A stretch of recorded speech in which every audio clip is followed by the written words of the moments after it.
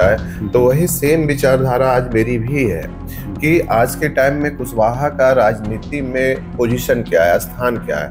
आज हम बोलते हैं कुशवाहा लोग कि बिहार में हमारी तीसरी सबसे बड़ी आबादी है। अगर मुस्लिम के बाद यादव के बाद देखा जाए तो कुशवाहा की तीसरी सबसे बड़ी हमारी आबादी बिहार में है। लेकिन राजनीतिक में हमारी स्थान कहाँ है? हम कहाँ पे खड़े हैं? आज क्या हालात ऐसा हो गया है कि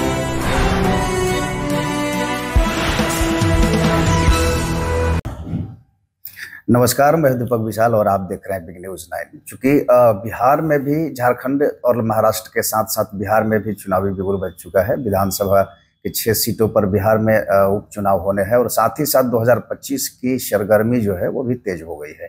और उसी कड़ी में आज हम पटना में है और हमारे साथ मौजूद है निशिकांत सिन्हा, जो कि एक, वैसे तो ये उद्योगपति हैं, लेकिन समाज सेवा में भी इन्होंने काफ़ी अपना सहयोग दिया है।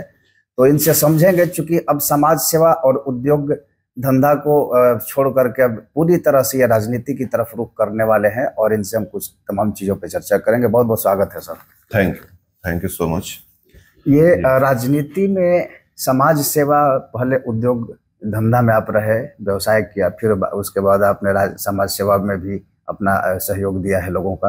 अब अचानक से राजनीति में अपना कदम जमाने की तैयारी कैसे हो रही है? जी जी। सबसे पहले तो मैं अचानक से राजनीति में नहीं आ रहा हूँ। मेरा मेन उद्देश्य होता है कि मैं अपने समाज को हर क्षेत्र में मज़बूत कैसे करूँ। मैं पिछले 20 सालों से मैं अपना बिज़नेस कर रहा था और 20 सालों से बिज़नेस करने के बाद मैं पिछले पाँच वर्षों से अपने समाज के लिए समाज सेवा का काम कर रहा हूँ खासकर शिक्षा के क्षेत्र में। क्योंकि मैं ऐसा मानता हूँ कि किसी भी समाज को मज़बूत करना है तो शिक्षा का मज़बूत होना बहुत ही ज़रूरी है। तो जैसे मैं पिछले पाँच वर्षों से लगातार शिक्षा के ऊपर काम करना शुरू किया तो कहीं ना कहीं मुझे यह एहसास हुआ कि किसी भी समाज को मज़बूत करने के लिए शिक्षा के साथ साथ राजनीति को भी मज़बूत करना बहुत ही ज़रूरी होता है। जैसे शिक्षा समाज को मज़बूत करती है वैसे ही राजनीति समाज को दिशा देती है। तो मुझे यह लगा कि जहाँ मेरे जैसे पढ़े लिखे युवा अपने समाज को मज़बूत करने के लिए शिक्षा के ऊपर काम कर रहा है वही मेरे जैसे पढ़े लिखे युवा अपने समाज को मज़बूत करने के लिए राजनीति के ऊपर भी क्यों ना काम करें? क्योंकि समाज को सिर्फ़ हम शिक्षा से मज़बूत करेंगे तो हमारा समाज सफल नहीं हो पाएगा या जो मुकाम पे उसको पहुंचनी चाहिए उस मुकाम पे हमारा समाज नहीं पहुँच पाएगा। तो हमें क्या है कि समाज को मज़बूत करने के लिए हर क्षेत्र में मज़बूत करना होगा। चाहे वो शिक्षा का क्षेत्र हो चाहे वो व्यवसाय का क्षेत्र हो चाहे वो जॉब का क्षेत्र हो चाहे वो राजनीति का क्षेत्र हो। तो मुझे लगा कि राजनीतिक के ऊपर भी काम करना चाहिए ताकि आने वाले समय में हमारा समाज एक मुकाम नई मुकाम पे हासिल करे। चूँकि अभी बिहार की राजनीति में तमाम बड़े दिग्गज हैं पहले से स्थापित हैं और अभी हाल ही में एक और नया चेहरा सामने आया आपका प्रशांत किशोर के रूप में। चूँकि अपने समाज की बात कही है तो इस किस समाज और किस वर्ग की बात कर रहे हैं? पूरे बिहार में चूँकि आप कुशवाहा जाति से आते हैं और कुशवाहा जाति की राजनीति करने वाले बहुत सारे नेता भी हैं। भूपेंद्र कुशवाहा जी हैं सम्राट चौधरी भी अभी सक्रिय हो रहे हैं। साथ साथ बात करें तो नागमणि कुशवाहा भी अपना दावा करते हैं। जी जी जी। तो ऐसे में बिहार की किस तबके को लेकर के आपकी उम्मीदें हैं कि जो आपके साथ ज़्यादा जुड़ना चाहेंगे? जी। पहली बात तो क्या है कि मेरा उद्देश्य राजनीति करना नहीं है। मेरा उद्देश्य है कि अपने समाज या अपने गरीब या अपने वंचित या अपने दलित शोषित लोगों को हर क्षेत्र में मज़बूत करना। उसी में एक क्षेत्र राजनीति का भी क्षेत्र है। जैसे मैंने बोला कि किसी भी लोगों को अगर मज़बूत करना है तो पार्टिकुलर हम एक क्षेत्र में मज़बूत करने से कोई भी समाज या कोई भी राज्य या कोई भी देश मज़बूत नहीं हो सकता है। तो जहाँ मैंने शिक्षा के लिए काम कर रहा था तो मुझे लगा कि अपने समाज को या अपने गरीब लोगों को अपने शोषित लोगों को अगर मज़बूत करना है तो राजनीति को भी मज़बूत करना ज़रूरी है। इसका लिए ऐसा नहीं है कि मुझे राजनीति में आने आना ही चाहिए। जो लोग राजनीति कर रहे हैं हो सकता है कि मैं उनका भी हाथ मज़बूत कर सकता हूँ। तो जो विचारधारा हमारे जगदेव बाबू की थी आज हम्म। मेरी भी विचारधारा वही है कि जितनी बड़ी हमारी भागीदारी है हम्म। उतनी बड़ी हमें अपनी हिस्सेदारी भी मिलनी चाहिए। हम्म। अब क्या है कि कोई भी इंसान जब मज़बूत होता है तो पहले वो अपने परिवार को मज़बूत करता है उसके बाद अपने समाज को मज़बूत करता है फिर अपने गरीब दलित शोषित लोगों को मज़बूत करता है। तो वही सेम विचारधारा आज मेरी भी है कि आज के टाइम में कुशवाहा का राजनीति में पोजीशन क्या है स्थान क्या है। आज हम बोलते हैं कुशवाहा लोग कि बिहार में हमारी तीसरी सबसे बड़ी आबादी है। हम्म। अगर मुस्लिम के बाद यादव के बाद देखा जाए तो कुशवाहा की तीसरी सबसे बड़ी हमारी आबादी बिहार में है। हम्म। लेकिन राजनीतिक में हमारी स्थान कहाँ है? हम कहाँ पे खड़े हैं? आज का हालात ऐसा हो गया है कि केंद्र में सेंटर में हमारे समाज का एक बेटा या हमारे समाज का एक भाई एक मंत्री तक नहीं बन पाए ऐसा क्यों हमारा ही वोट बैंक का हर राजनीतिक दल यूज़ करते हैं। कुशवाहा के ही वोट से लोग सत्ता में आते हैं शासन करते हैं और कुशवाहा को फिर साइड कर दिया जाता है जब इस बार लोकसभा का चुनाव हुआ हम्म। तो कुशवाहा को एक भी टिकट एनडीए के प्रत्याशी नहीं दे एनडीए के दल नहीं दे पाए बीजेपी के हम्म। एक टिकट दिए भी उपेंद्र कुशवाहा जी को तो वो भी हार गए तो क्या हम उस लायक के हैं हम्म।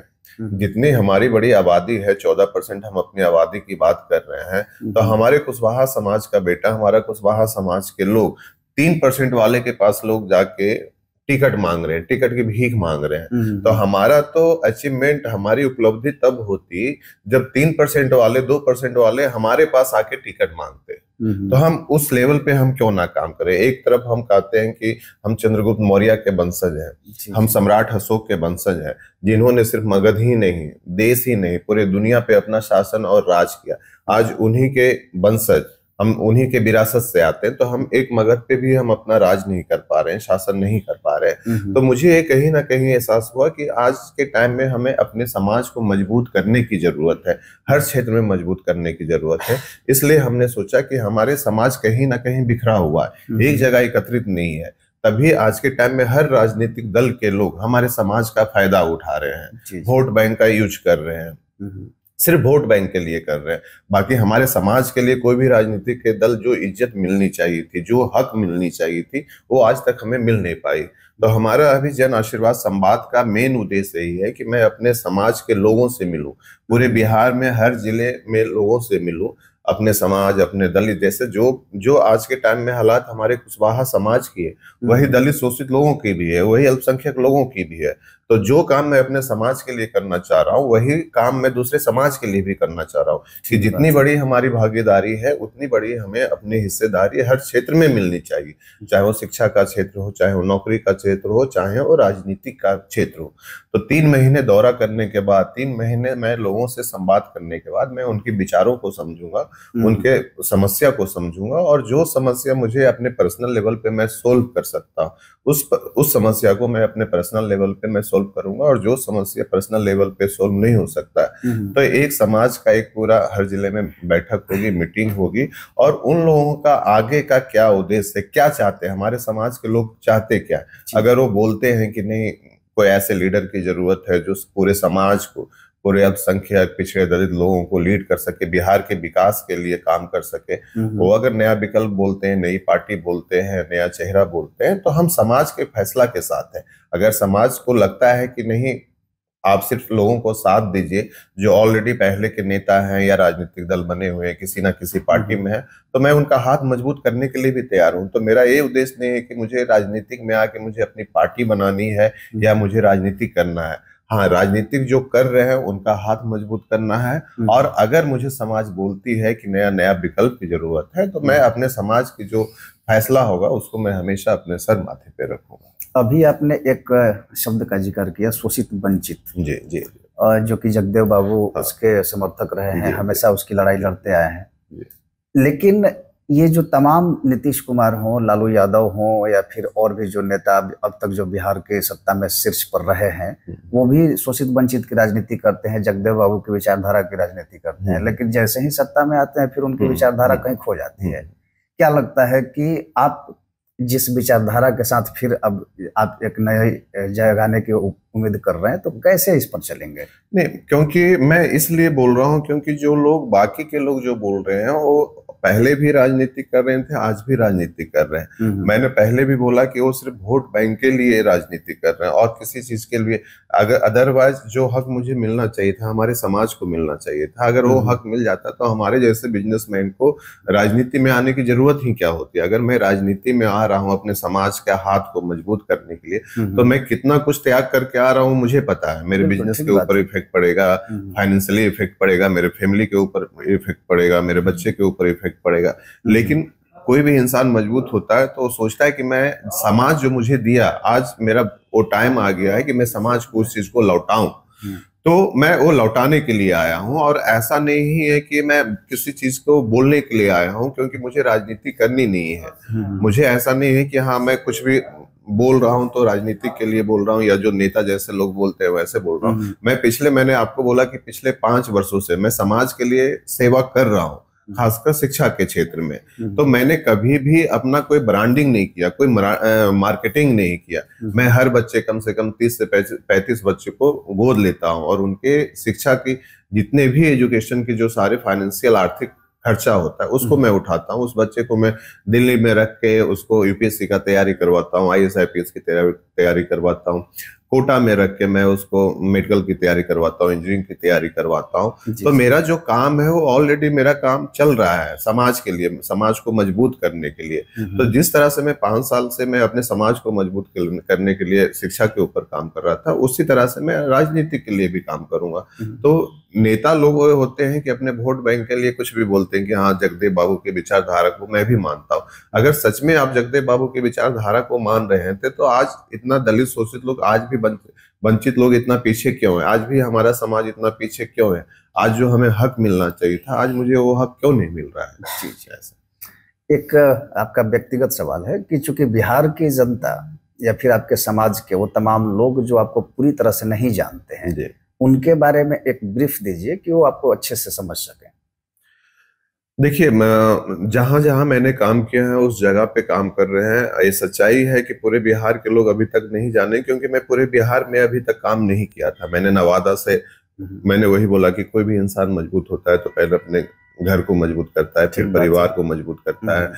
फिर अपने समाज को मज़बूत करता है फिर अपने जिला को मज़बूत करता है। तो वही सेम प्रोसेस मैंने किया। हम्म। जब मैंने मैं मज़बूत हुआ तो अपने घर को मज़बूत किया अपने परिवार को मज़बूत किया अपने समाज को मज़बूत किया। हम्म। उसके बाद जिला को मज़बूत किया। अब जिला के साथ साथ मैं मगध के मगध मगध के एरिया में मैं काम करना शुरू किया। हम्म। उसके बाद मैं पूरे जिला में अब काम करना शुरू किया। मैं गुजरात में रह रहा हूँ तो गुजरात में भी मैंने गरीब बच्चों को काम किया।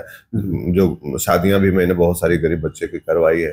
तो जैसे जैसे मैं मज़बूत हो रहा हूँ वैसे वैसे मैं लोगों को मज़बूत कर रहा हूँ। हम्म। और जब मैं पूरे बिहार में काम करूँगा तो पूरे बिहार के लोग मुझे जानेंगे। जी जी। बहुत बहुत धन्यवाद जी। तो हमारे साथ थे निशिकांत सिन्हा हालाँकि ये कुशवाहा जाति से आते हैं लेकिन टाइटल सिन्हा से आप कंफ्यूज मत होइएगा। और बिहार में इन्होंने बहुत सारे बच्चों के पढ़ाई की खर्चा उठाई है समाज सेवा की तरफ़ इनकी काफ़ी रुझान रहा है। अब राजनीति में भी अपने पैर जमाने की कोशिश में लगे हुए हैं तो तमाम बिहार की जनता जो भी लोग देख रही हैं उनको पता है कि उन्हें क्या करना है। और हम ऐसे तमाम खबरों को लेकर कहते रहेंगे। आप बने रहिए हमारे साथ। नमस्कार।